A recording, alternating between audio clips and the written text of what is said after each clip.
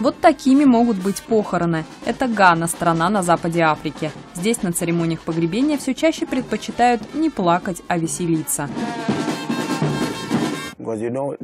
Люди не хотят больше плакать. Некоторые люди, хотят они плакать или нет, мы заставляем их улыбнуться, делаем их счастливыми.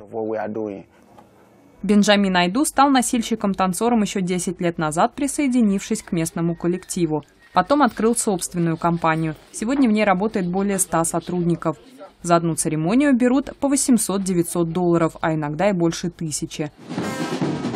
Говорит, среди других его коллектив выделяется и качественными костюмами, и, конечно, самими движениями. Танцевать с гробом на плече – задача непростая.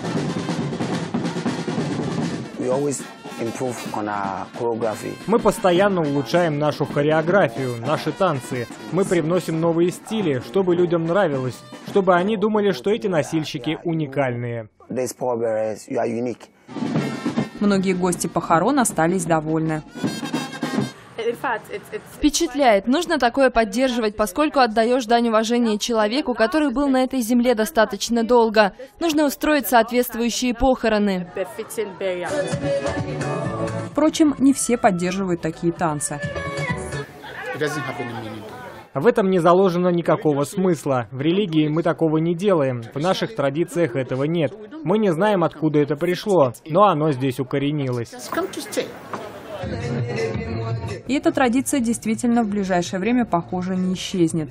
Особенно если учитывать то, что танцоров Бенджамина каждые выходные вызывают на 5-6 погребальных церемоний.